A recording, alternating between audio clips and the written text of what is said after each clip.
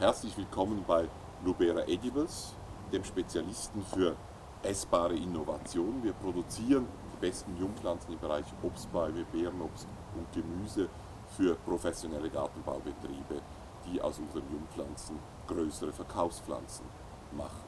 Unser Thema heute ist Produktentwicklung. Vor der Kamera steht Frederik Voller.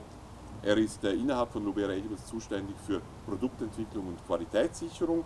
Jetzt mal zunächst das Thema Produktentwicklung. Wie funktioniert das genau? Was genau ist deine Aufgabe? Was machst du den lieben langen Tag, Frederik?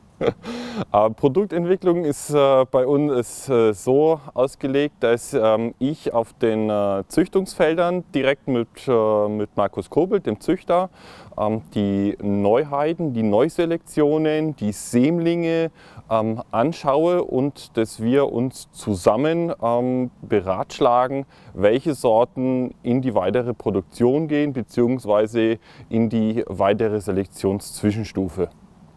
Wie kann man sich das vorstellen? Also du, du wählst da zusammen mit den Züchtern äh, bei Lubera Pflanzen aus oder auch bei anderen Züchtern Pflanzen aus, bringst sie hierher und dann werden sie in vitro etabliert oder testest du sie nochmals vorher? Wie, wie genau ist die Vorgehensweise?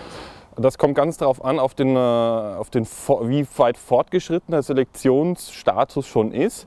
Ähm, wenn natürlich schon ähm, zwei, drei Jahre vorher äh, selektioniert wurde, dann kommt das Material, was hier in den Betrieb kommt, ähm, wird gleichzeitig parallel getestet. Es kommt sowohl in die Mikrovermehrung als auch hier bei uns in den Sortensichtungsgarten und wird dann parallel angeschaut.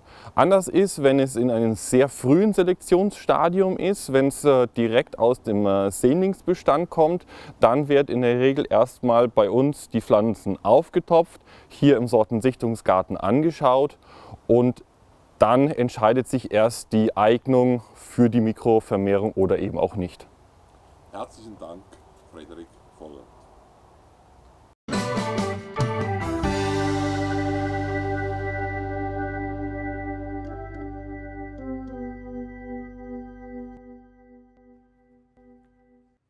Noch was. Wenn Sie mehr Informationen und Geschichten zu essbaren Innovationen wünschen, dann abonnieren Sie hier unseren YouTube-Channel und hier geht es zu unserer Webseite. Jetzt aber können Sie weiter gärtnern.